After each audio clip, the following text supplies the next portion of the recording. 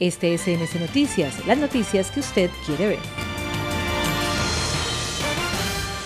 Gracias por continuar con nosotros en CNC Noticias. Recuerde, usted nos puede seguir a través de las diferentes redes sociales donde nos encuentra como CNC Tuluá. Allí también hacemos la transmisión en vivo de nuestro noticiero para todas las personas que están fuera del territorio nacional y de nuestro municipio. Continuamos con información y hablamos de la recompensa que ofrecieron las autoridades para dar con el paradero del responsable que iba conduciendo un vehículo que el pasado eh, finales del mes de agosto arrolló una mujer en la salida sur de Tuluá, la cual se movilizaba en una motocicleta y esta finalmente perdió la vida.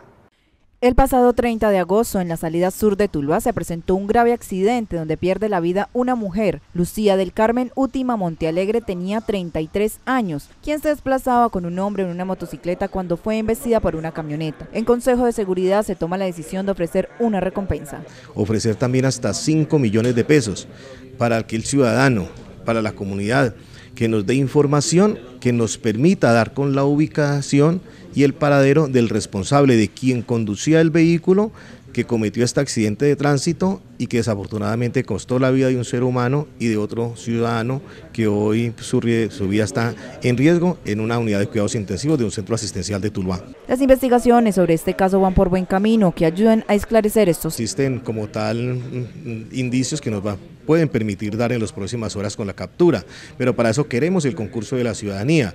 De uno ya tenemos el retrato hablado y las versiones de la misma comunidad, pero que queremos que sean contundentes y por eso se ofrece como tal la recompensa.